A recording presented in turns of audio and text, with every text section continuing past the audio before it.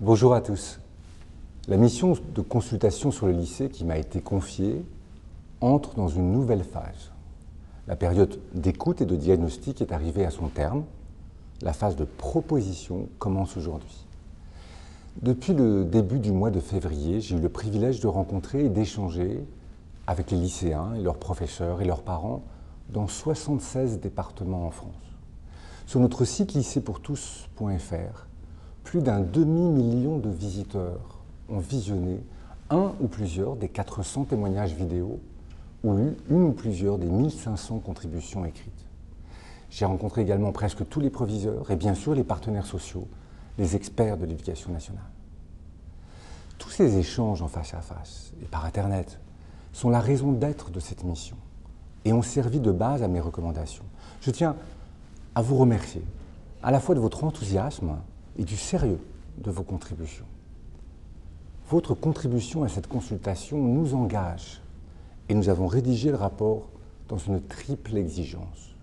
Le respect. Il faut préserver ce qui va bien dans le lycée en France et corriger ce qui ne fonctionne pas. L'écoute. La question du lycée en France est un sujet de société qui nous concerne tous. Cela ne peut pas être un sujet administratif traité de façon technique. La considération. Les acteurs du lycée qui ont eu parfois le sentiment que les décisions étaient prises sans les consulter et sans prendre en considération leurs propositions, veulent être entendus. Il n'y a pas de consensus social sur le sens des études secondaires et le rôle du lycée dans notre pays. C'est pourquoi ma démarche a été fondée sur le débat. Quatre points doivent pour vous être totalement clairs. Le nouveau projet de réforme part de zéro, c'est-à-dire du lycée tel qu'il est aujourd'hui. Ce n'est pas une version déguisée du projet précédent. Le président de la République l'a affirmé à Saint-Lô et l'a confirmé tout récemment à Massy. Les propositions que je formule ne comportent aucun objectif de réduction des moyens, comme le président de la République s'y était d'ailleurs engagé dès janvier 2009.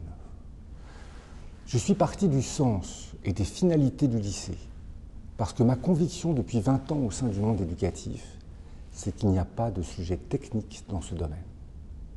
Enfin, nous sommes partis du terrain, c'est-à-dire de vous, dans les établissements, et avec toutes ceux, toutes celles qui ont bien voulu s'exprimer sur lycéepourtous.fr.